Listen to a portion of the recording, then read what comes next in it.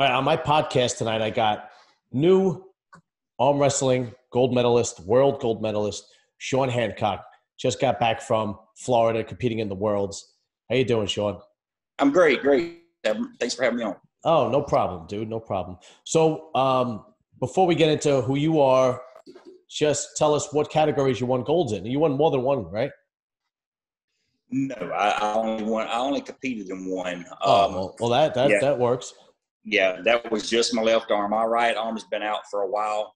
Uh-huh. Um, so it was in my in my weight class, my 209 weight class. But um, my I, the last time I competed with my right arm was at Worlds in 2019. I placed eighth with it, but um, came home and i was having some problems with it. Went in and saw a doctor. He X-rayed it and found some bone spurs in there. And I just have not taken the time off to go have surgery on it yet. But that's what I plan on doing this winter, taking the time off, go have surgery on that right arm, and uh, try to come back next spring with both arms. Oh, okay. So you want you well, you know, that's saying something. To be honest with you, it's saying a lot more than having multiple because you went in on one category and you won the entire thing. Yeah, 209 is a tough weight category. Those are some, you know, those aren't the 300 pounders, but those are guys that, that are pretty damn strong. You know. Yeah, yeah. I, I think all of them. I, I really can tell you any class that that was an easy class for for their weight class. I mean, there was there was a lot of good competition there. I could imagine. How many guys did you have to go through?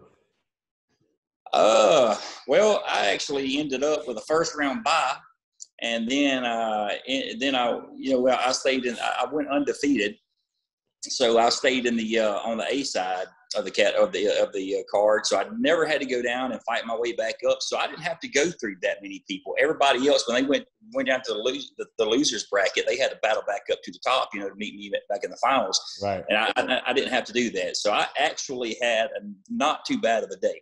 Um, in 2019 at Worlds, I went to the losing bracket at some point, and I had to do that. I had to fight my way back up, you know, and it was just that.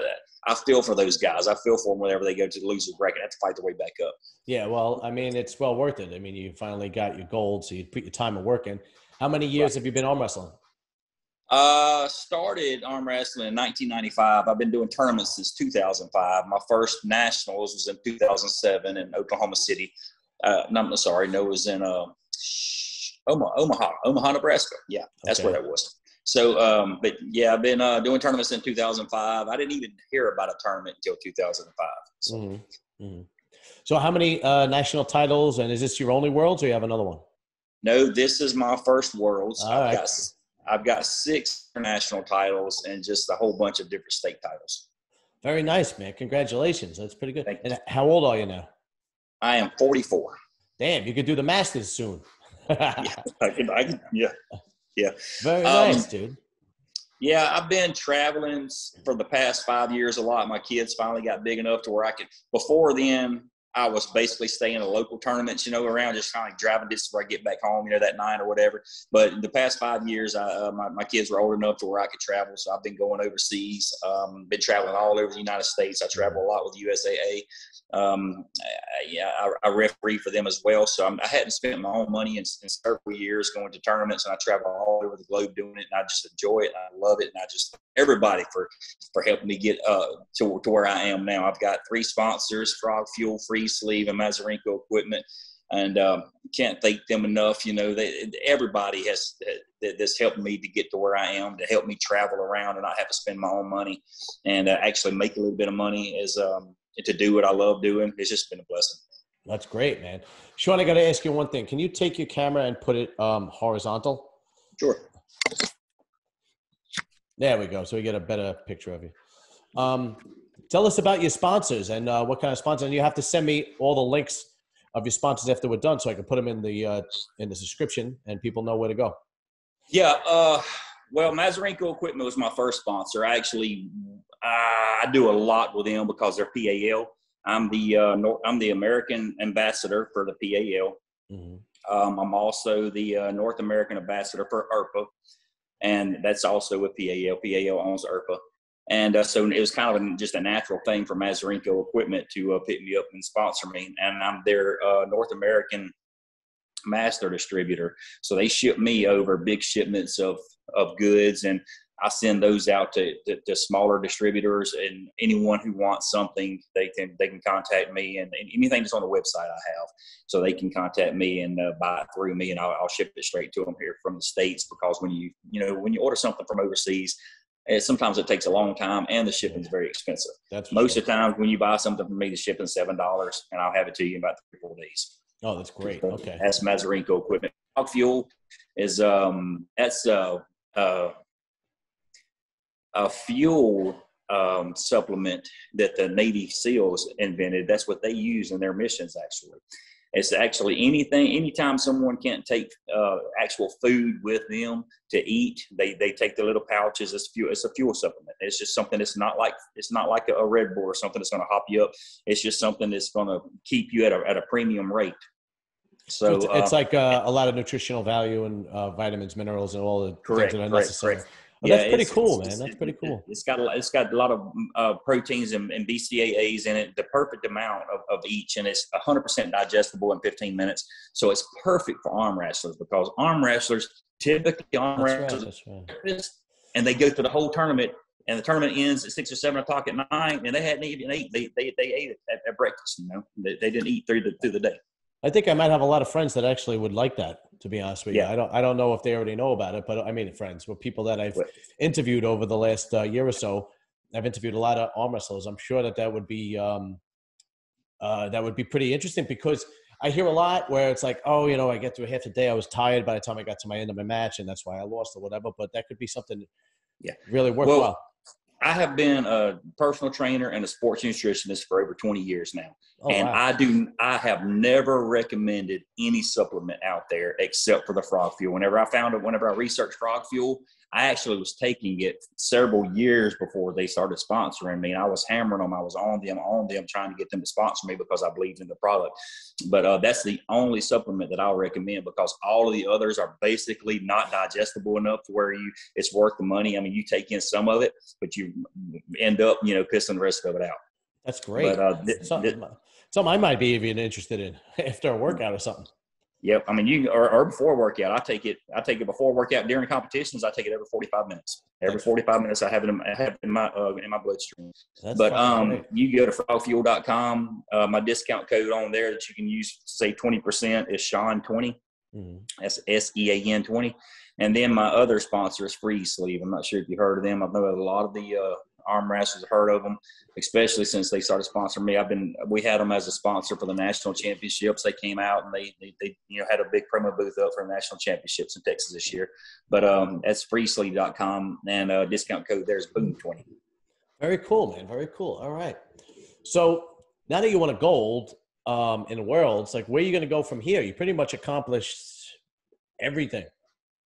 Well, uh, the guys at the gym were asking me, was I was I going to do a two-peat? And I said, well, I'm looking for a three-peat. so it's one of those things you're never happy with what you have. Um, you know, when, you know, you, you, you, you, you think when you start out, you think, okay, if I can just win the state championship, if I can win my own state championship, I'm going to be happy. Then you win that and you're like, dang, well, now if I can win the bordering state championships, I'll be happy. Then when right. you do that, like, now I need the national championships. You go after yeah. that. Now I need the international championship. Now you need the world championship. Like, right well, now we got to have another world championship. But there's there there's multiple levels. I mean, we can win as I'll I'll go to the uh, world championships every year. I'm one of the team captains for Team USA, so we take a team every year to the United to the uh, worlds wherever it's going to be. So I'll I'll be there every year competing. Um, but uh, Zloty, the Zloty Tur competition, that's something on my um, now I was already there in 2019, but um, actually got it, it, was the same week as Worlds, and uh, I was too wore out. I pulled four classes at Worlds in 2019, and I just wow. wasn't able. I, then the then Zloty Tur was the next day after that, so I just decided to bow out of Zloty Tur. I was just too tore up from Worlds, but um, so I want to go back to Zloty Tur and and try to do well in that. Uh, that's where your top competition is from the uh, from the world because that's an untested event. So that's your that's your World Cup, and it's untested. So um, you have your you have the best athletes, the best of the best yeah, the best, the best in the Zloty Tur. Yeah, that's fucking the great man. So, how many countries were competing in this year's Worlds? That the one that you won in Florida?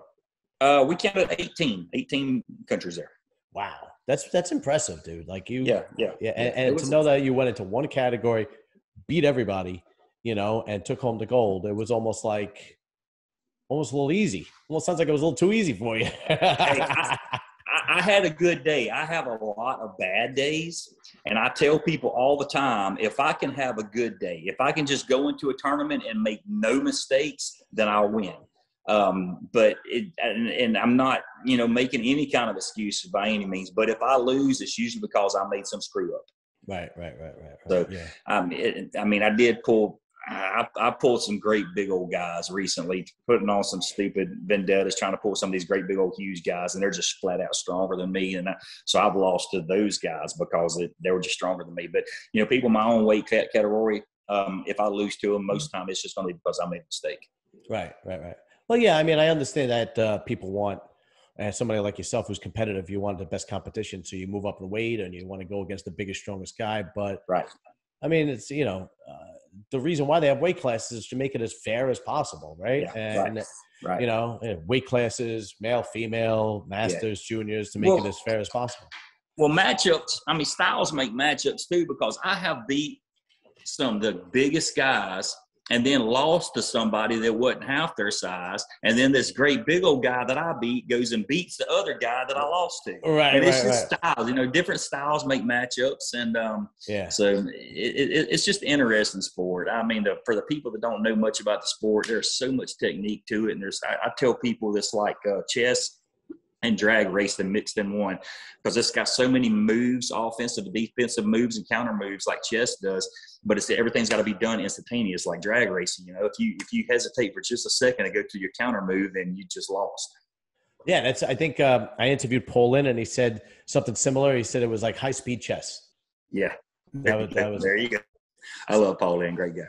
everybody likes Paul Lynn. He's like, you know, he's like like uh, everybody's dad. Yeah, he's one of those guys, and now he he we've talked before. He's like, yeah, everybody thinks I'm a super good guy, you know. He's like, but you know, I've I've had a you know a mean side, you know. People just don't had never seen that, and I'm like, yeah, but I mean, you don't let it you don't let it out there, you know. He's just such a great guy out in front of everybody, and uh, he's one of those guys. If you have a problem with him, then you have a problem because um, yeah. he didn't create it. Speaking of which, what do you think? Uh, I'd love to get your opinion on the uh, Paul Lynn John Brzenk. Uh-uh. No, no, you're not going there. Okay. I, I, I, love I love Paul Lynn too much to try to go there because uh, I'm just not going to speculate on that. Now I'm uh, I'm actually refing uh, John Brzenk match this weekend, Saturday in Oh, really? uh, San Antonio. He's uh, he's pulling Dimitri uh, there, and uh, Dimitri Kachin. He's pulling in uh, San Antonio, so they're flying me out to ref his super match there, and uh, so I'm looking forward to that. I see John pulling that out. Um, there, there's some people out there I've been reading about this uh, doesn't think that he's going to pull it out, but I, I do see John pulling that out. It's just too smart. I mean, it's just too smart. And um, I mean, I'll go ahead and step on the uh, the Paul Lynn matchup. Paul, I love you, man. You're strong. I love your traps. You have the best traps in the uh, in in the sport. But dude, you know you got your hands full. You know you got your hands full when you're going up against the goat. I'm, I'm going the other way. Paul Lynn's going to rip him up. He's going to tear. Well, you know, I, I don't know if you saw the interview, but I told I told Paul when I interviewed him that um, I have my own uh, uh, ranking system when it comes to uh, the sports that I cover. So I have my own ranking system in bodybuilding, powerlifting, arm wrestling, and Mm. that's basically the first person that gives me a shot to let me interview them in that sport is the best in the world. Oh, yeah, that's, that's how it works. So Paul was the first. Got you. So I'm like, hey, Gotcha. this guy John's got no shot. Never even heard of him. Are you kidding? I got you. Well, I'm probably the first referee that you've interviewed, so I can just be your number one referee from now on. that's it. You don't know they're the best referee in the world. That's that's where it comes. There you go. I'm. I'm good. Did you watch uh, if on on some other fun topics? Did you watch the uh, fight with Devon Larratt and uh, Hafthor Bjornsson? Yes. And what'd you think? Uh, Yeah, exactly. Yeah. Yeah, yeah, yeah. I, I think it was good for publicity. You know, anything that they put out there that gains a little bit of attention to our sport Yeah. is uh, worth it to me. Um, you know, I, I, I, there's a lot of trolls in our sport. And that's the biggest thing that pisses me off because they get out there and these are people that are have big names in sport. They're they're very big names in our in our sport, but they they tear it down so much. And I'm like, and they tear down the people who are bringing uh, a, a, a, a, limelight to the sport. You know, like um, for example, example um, Michael Todd. You know, there's people that there are very big people in our sport that tear him down, tear him down, tear him down. I'm like, wow. Yeah, well, he's why, doing he's, he's doing a hell of a lot more for this sport than they are. I mean, he travels the country. Actually, travels all over the world promoting this sport. There are people that know this sport because of Michael Todd that never knew this sport because of these people that are tearing him down. And that just, I mean, I tell everybody, I mean, I'm not a, I'm, I like Michael Todd, but I'm not his biggest fan. He's right. got a lot bigger fans than me, but I take up for him for one specific reason. He builds our sport up and um, he hadn't done anything to tear it down. He, there's a lot of eyes that are open to our sport because of him, and to have people just go in there just to tear him down because why? Because they're just a troll. They just think it's funny. That that, that pisses me off. But I don't blame you. I don't blame you at all. I don't like uh, laptop tough guys. You know, telephone tough guys. I don't like that at all. Um,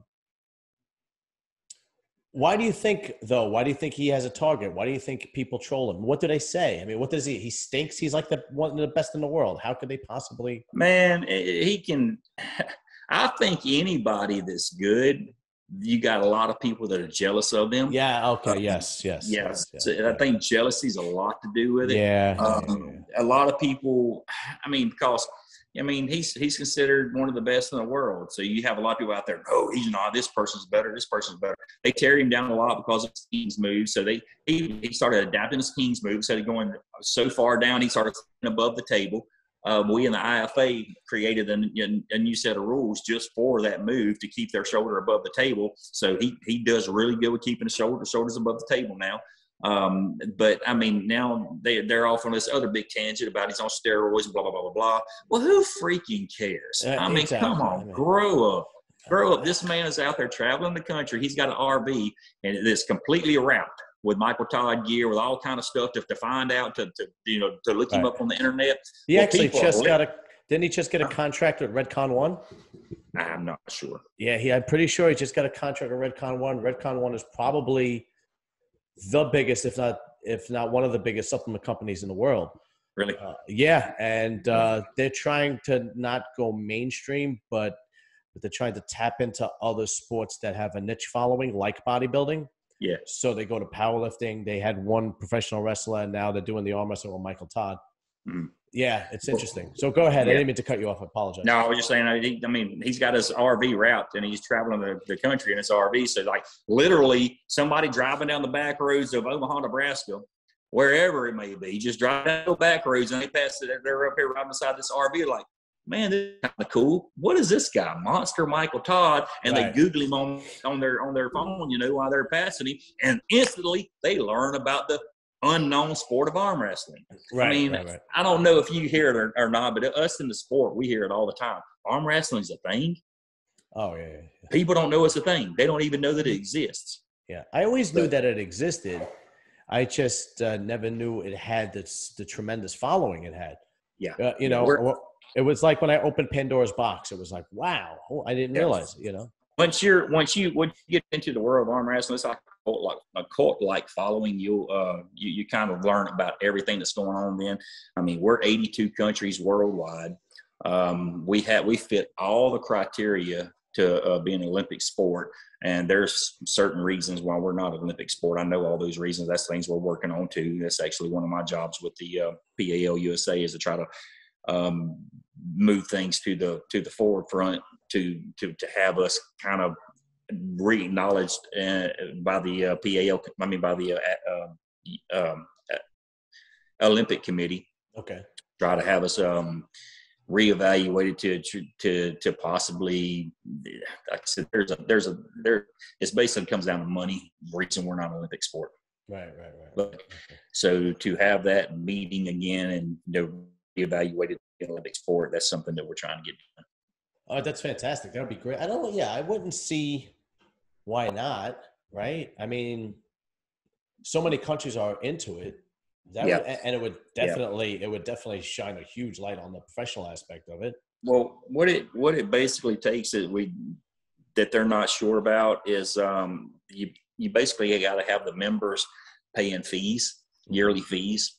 You got to have a certain amount of members per country paying, paying these yearly fees to the Olympic Committee Okay. to be recognized as an Olympic sport. And they're not sure that they would have that many countries, have that many athletes in each one of the countries pay those uh, Olympic fees Mhm. to, to be in to be in the Olympics, to be considered an Olympic athlete. But it goes it goes a lot a lot deeper than that. A lot deeper than that. I just don't I don't even really want to on that because it goes. We can spend hours on, on, on that. Yeah, no, we don't have to. Uh, dw- we don't have to dwell on that. Definitely. Yeah. Not. So now you you said I just want to know some about yourself. You said you had kids. Are any of your kids arm wrestling? Uh, my son has, and he still does some. He likes doing it, you know, places. He'll, he'll go somewhere, and um, someone will, will know that he's my son, and they'll say, "Oh, you and you arm wrestle or whatever else," and they'll, they'll get into the conversation, and um, and he'll he'll end up arm wrestling some of those guys. He's won a little money at some of the places he's got. Yeah, yeah, yeah.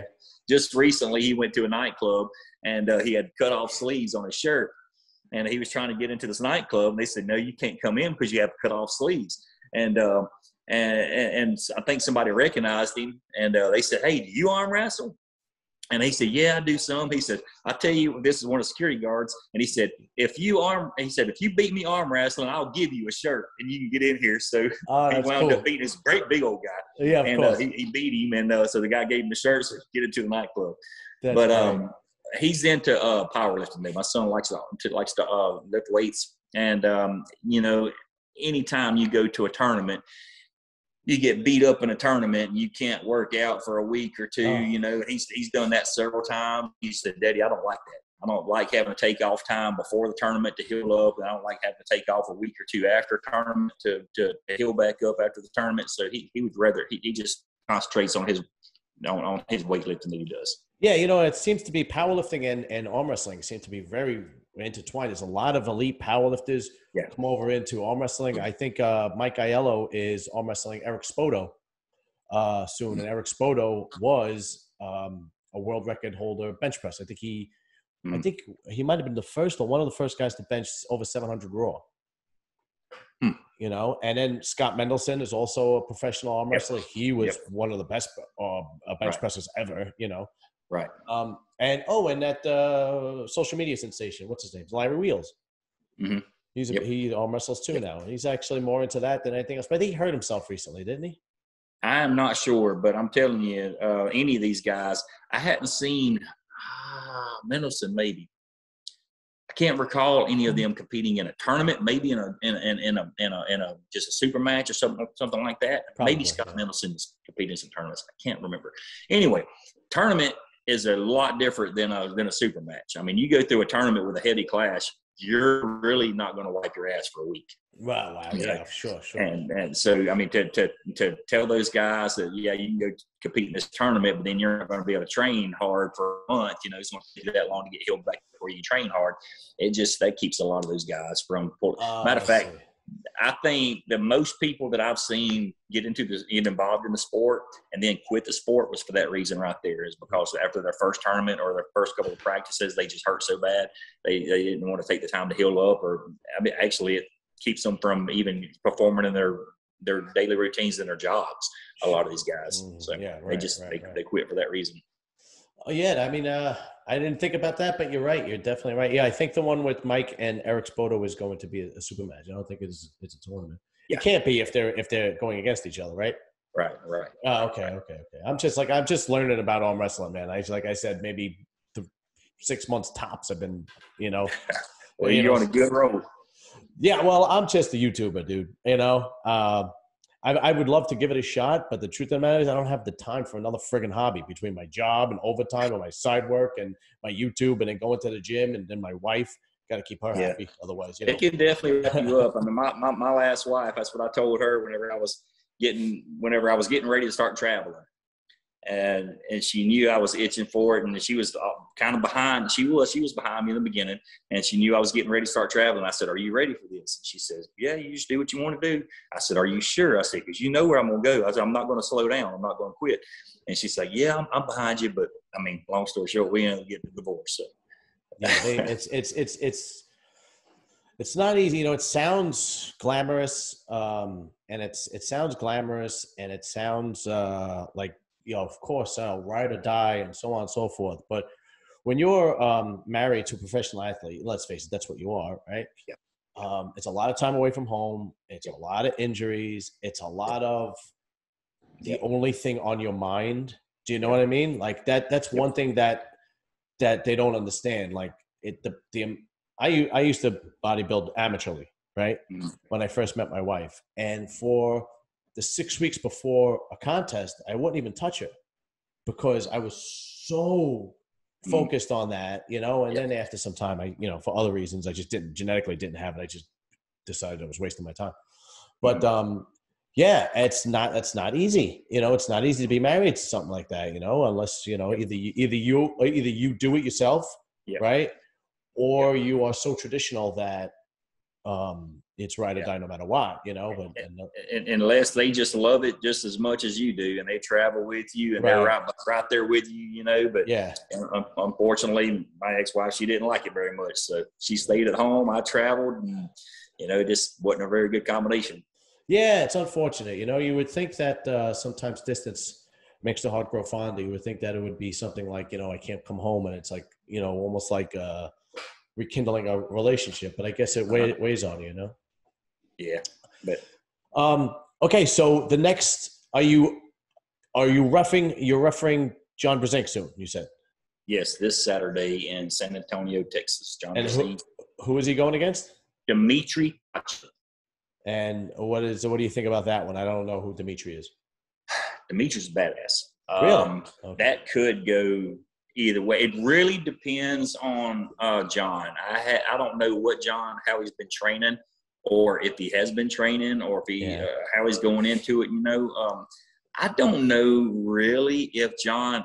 He's one of those freaks of nature. I really don't think that John has to train an awful lot to be, you know, uh, prime. Uh, he's just one of those guys. So I still have to stay with John on this one. Yeah. But I mean, I probably would go with John no matter who he pulls, just Yeah. because I'm a, I'm a huge fan of him. But if John uh, arm wrestles Dimitri and Dimitri beats him, what does that leave Paul? It's almost like, well, somebody just beat you last month. It's almost like you know the the king is already toppled. You know, I, you know, I, look, I would put myself if I'm putting myself in Paul's shoes right there. I don't care if he Yeah. loses to Dimitri, and I'm gonna. That's going to give me that much more confidence, and I'm going to go in there and I'm going to bust his ass too. And that way, that way, look, nobody's going to remember that he lost to Dimitri the month before. They're just going to remember that Paul beat the goat. you right, know? right, right, and right. If, if, if I if I'm in, in in Paul's shoes, that's what I'm thinking of right there. Hey, I just beat the goat. I don't give a shit who he lost to last month or who's going to lose to next month. I beat him right now. Right, right, right, right. Yeah. All right, Sean, that's fantastic, man. I'm going to let you go because I don't want to take up too much of your time, but I wanted to give you your time as a world champion. I know I have a small YouTube channel podcast, but um, I still believe in that stuff as far as, you know, an American champion. And uh, much respect, much love to you. And I'm, uh, congratulations. And I hope you do it all again and again and again. My hat's off to you, brother. Keep doing what you're doing. You're doing a good job. I appreciate you. I will. You got it. Have a good night, sir. Thank you. You too.